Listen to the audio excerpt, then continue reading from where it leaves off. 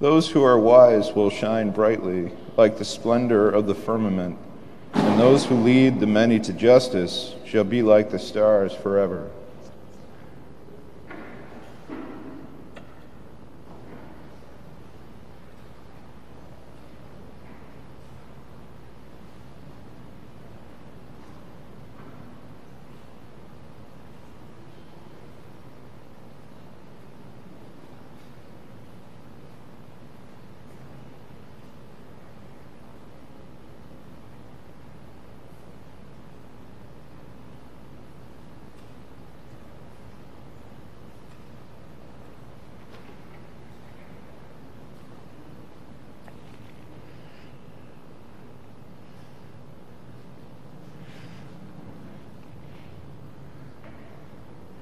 In the name of the Father, and of the Son, and of the Holy Spirit.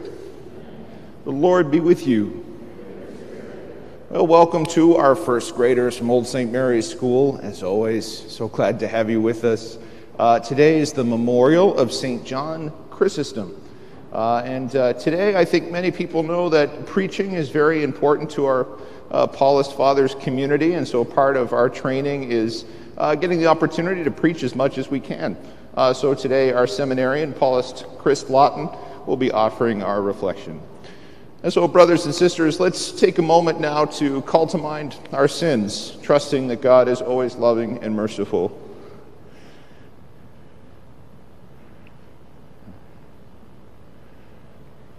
Lord Jesus, your mighty God and Prince of Peace, Lord have mercy. Your Son of God and Son of Mary, Christ have mercy. You are the Savior of the world. Lord, have mercy. May Almighty God have mercy on us, forgive us our sins, and bring us to everlasting life. Let us pray.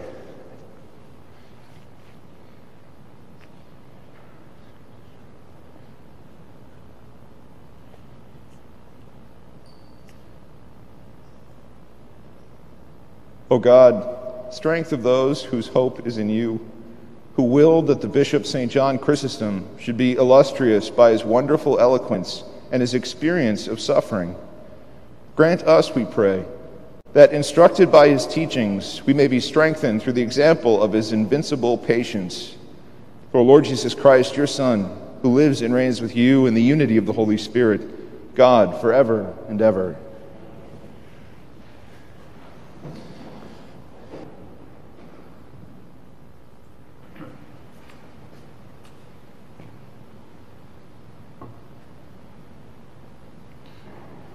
Reading from the first letter of St. Paul to Timothy.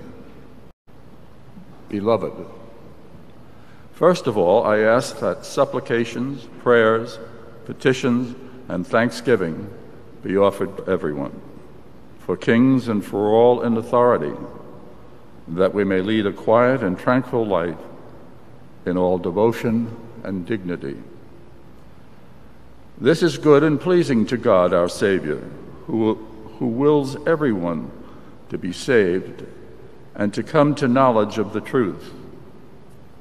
For there is one God. There is also one mediator between God and men, the man Christ Jesus, who gave himself as ransom for all. This was the testimony at the proper time. For this I was appointed preacher and apostle. I am speaking the truth. I am not lying. Teacher of the Gentiles in faith and truth. It is my wish, then, that in every place the men and women shall pray, lifting up holy hands without anger or argument. The word of the Lord. Blessed be the Lord, for he has heard my prayer. Hear the sound of my pleading when I cry to you, lifting up my hands toward your holy shrine. The Lord is my strength and my shield.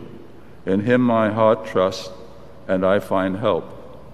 Then my heart exults, and with my song I give him thanks. The Lord is the strength of his people, the saving refuge of his anointed. Save your people and bless your inheritance. Feed them and carry them forever.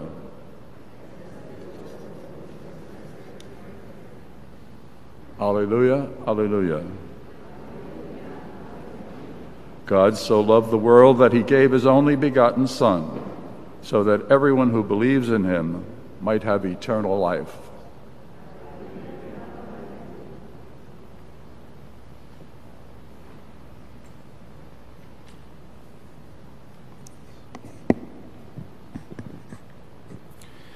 Lord be with you. A reading from the Holy Gospel according to Luke. When Jesus had finished all his words to the people, he entered Capernaum. A centurion there had a slave who was ill and about to die, and he was valuable to him. When he heard about Jesus, he sent elders of the Jews to him, asking him to come and save the life of his slave. They approached Jesus and strongly urged him to come, saying, He deserves to have you do this for him, for he loves our nation and he built the synagogue for us. And Jesus went with them.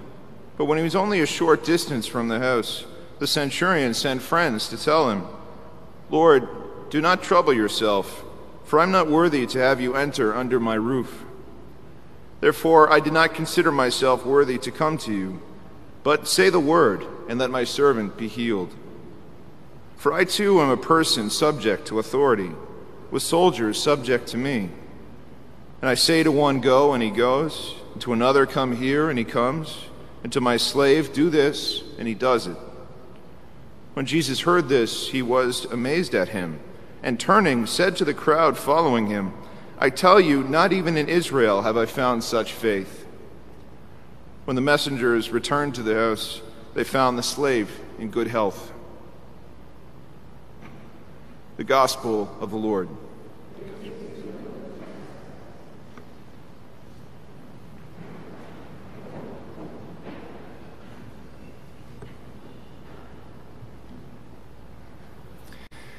So, when I reflect on my life as a Catholic and as a Christian, I can say to you honestly that I don't think I would be standing with you in this church on a Monday morning were it not for some pretty incredible models of faith in my own life. People who, in their witness, have inspired me to a deeper relationship with God. And I suspect that I'm not alone in that. I suspect that others of you are here because someone was a witness for you, a model of what faith in a God of love looked like and felt like. Don't we need models like that? Don't we need people who inspire us in that way? It seems that Jesus knows this intuitively because, as we hear today, in Luke's gospel, Jesus has just finished words to his people, an extended teaching or sermon to them. But when he's done teaching about faith, he offers the people, his disciples, an example of what that faith looks like, a model they can hang their hats on. And that model is the Roman centurion, a Roman military official, not necessarily a disciple, not even a Jewish man, but someone who teaches us something valuable about what that model of faith is. And it begins with a life lived acting in accordance with the love of God. The Roman centurion wants to save the life of his slave, a slave who was property, dispensable, subhuman. And yet, translators and scholars say that while we hear the words here that he was valuable, others argue that the word might more be he was precious, he was dear to the Roman, even loved by the Roman. A model of God's love. The Jewish people who come to Jesus say, This man has shown love for our nation. A Roman showing love, support, and concern for the Jewish people would have been countercultural the Jews often despised by the Roman people. Again, actions to support the building of a synagogue, a place of worship. Going against the grain of society to show and reflect a deep and profound love for one another. And more than these acts of love, the Roman centurion comes before Jesus, a man of great earthly power, and says, In the face of suffering and death of my beloved slave, Jesus, I am powerless. I am powerless to save and to heal, and I am entirely dependent on you. Only your words have the power now a model of faith in action of love and in trust and humble dependence on God. Jesus gives us the Roman centurion, and our own day gives us other models of faith as well. It didn't end with that model 2,000 years ago. Who are your Roman centurions in your life today? Those surprising witnesses to faith. I think in my own life of family and friends who face suffering and death, the things that seem insurmountable, and find a way to trust God in those moments of greatest need. I think about Pope Francis, who breaks cultural and societal norms and serves, offers acts of love for people far beyond our Catholic world. Who are they for you? Today, whether we're in first grade or far beyond it, we give thanks for the models of faith in our lives, and we pray that we too might be that witness so that we inspire and spread the faith in our God of love everywhere we go.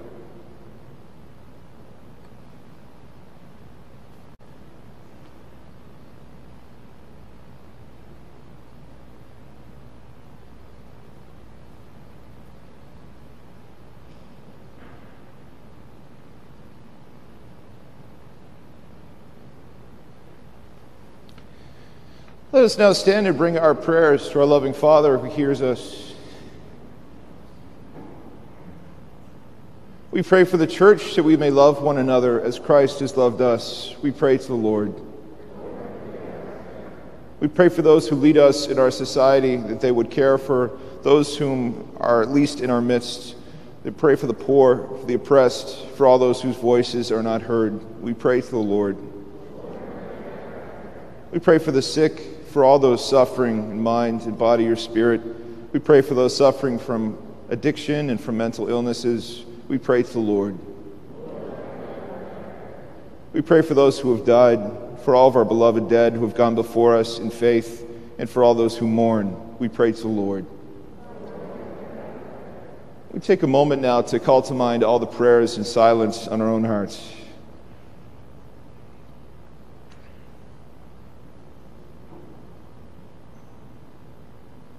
We pray to the Lord.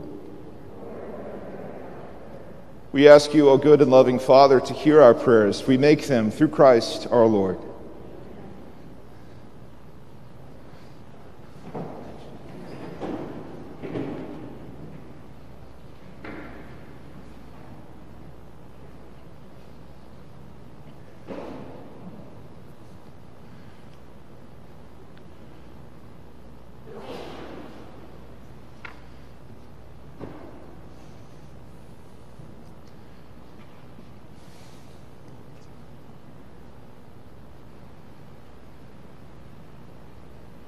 Blessed are you, Lord God of all creation, for through goodness we have received the bread we offer you. Fruit of the earth and work of human hands will become for us the bread of life.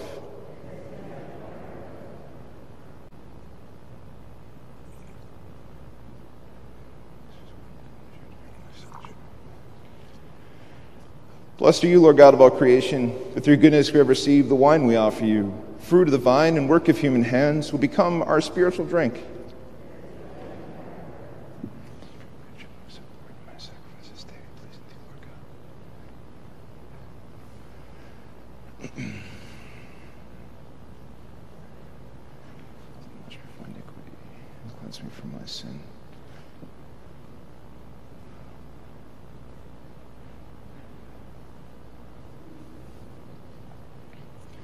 Pray, brothers and sisters, that my sacrifice and yours may be acceptable to God the Almighty Father.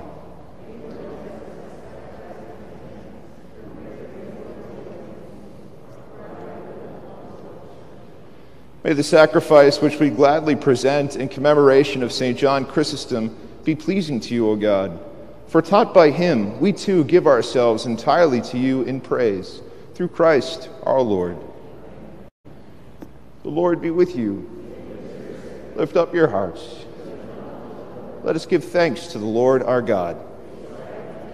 It is truly right and just, our duty and our salvation, always and everywhere, to give you thanks Lord, Holy Father, Almighty and eternal God, through Christ our Lord.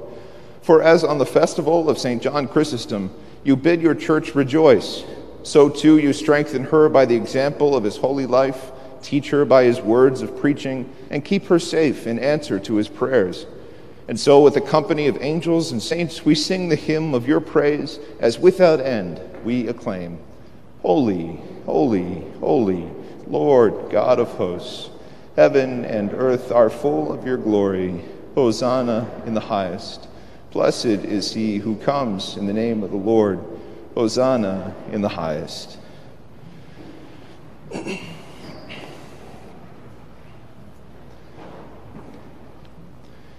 you are indeed holy, O Lord, the fount of all holiness. Make holy, therefore, these gifts, we pray, by sending down your Spirit upon them like the dewfall so that they may become for us the body and blood of our Lord Jesus Christ. At the time he was betrayed and entered willingly into his passion, he took bread and giving thanks, broke it and gave it to his disciples, saying, Take this, all of you, and eat of it, for this is my body, which will be given up for you.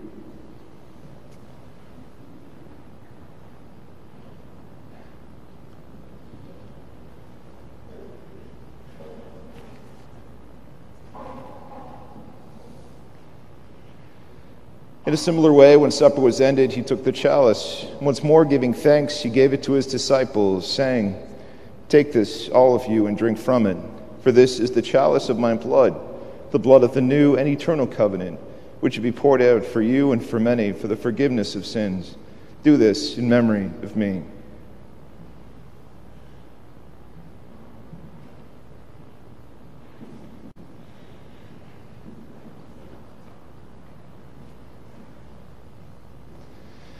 The mystery of faith. We proclaim your death, O Lord, and profess your resurrection until you come again. Therefore, as we celebrate the memorial of his death and resurrection, we offer you, Lord, the bread of life and the chalice of salvation, giving thanks that you've held us worthy to be in your presence and minister to you. Humbly we pray that partaking of the body and blood of Christ, we may be gathered into one by the Holy Spirit Remember, Lord, your church spread throughout the world and bring her to the fullness of charity, together with Francis, our Pope, and Blase, our Bishop, and all the clergy. Remember also our brothers and sisters who have fallen asleep in the hope of the resurrection, and all who have died in your mercy. Welcome them to the light of your face. Have mercy on us all, we pray, that with the Blessed Virgin Mary, Mother of God, blessed Joseph, her spouse, the blessed apostles, and all the saints who have pleased you throughout the ages, we may merit to be co heirs to eternal life and may praise and glorify you through your Son, Jesus Christ. Through him and with him and in him, O God Almighty Father, in the unity of the Holy Spirit, all glory and honor is yours forever and ever.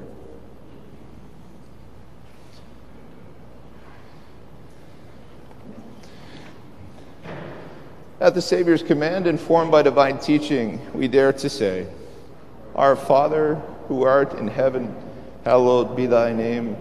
Thy kingdom come, thy will be done, on earth as it is in heaven. Give us this day our daily bread, and forgive us our trespasses, as we forgive those who trespass against us. And lead us not into temptation but deliver us from evil. Deliver us, Lord, we pray, from every evil. Graciously grant peace in our days, that by the help of your mercy we may be always free from sin and safe from all distress, as we await the blessed hope and the coming of our Savior, Jesus Christ, for the kingdom. Lord Jesus Christ, who said to your apostles, Peace I leave you, my peace I give you, look not on our sins, but on the faith of your church and graciously grant her peace and unity in accordance with your will, live and reign forever and ever. The peace of the Lord be with you always. Let's offer each other some sign of peace. Peace.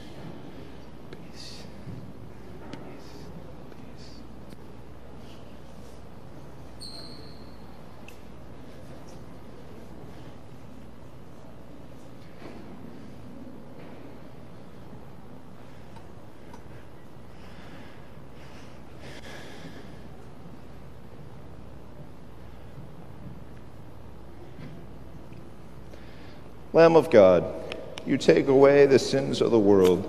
Have mercy on us. Lamb of God, you take away the sins of the world. Have mercy on us. Lamb of God, you take away the sins of the world. Grant us peace.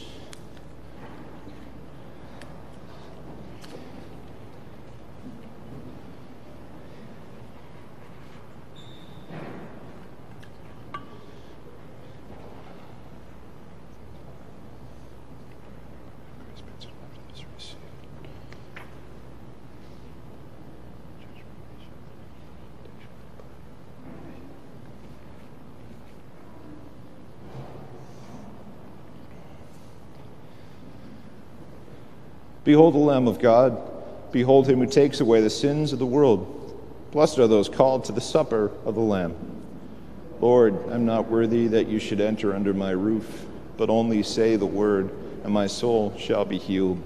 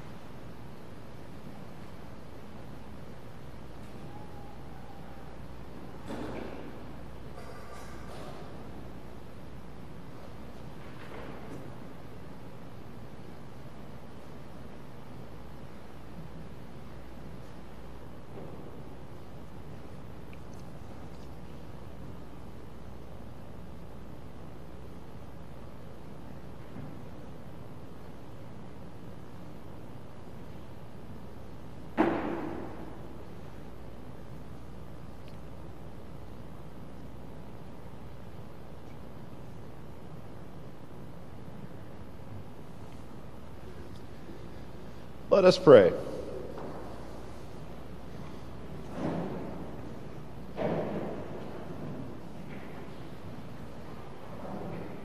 Grant, O merciful God, that these mysteries we have received as we commemorate St. John Chrysostom may confirm us in your love and enable us to be faithful in confessing your truth through Christ our Lord. The Lord be with you. Almighty God bless you, the Father, the Son, and the Holy Spirit. Go in peace, glorifying the Lord by your life.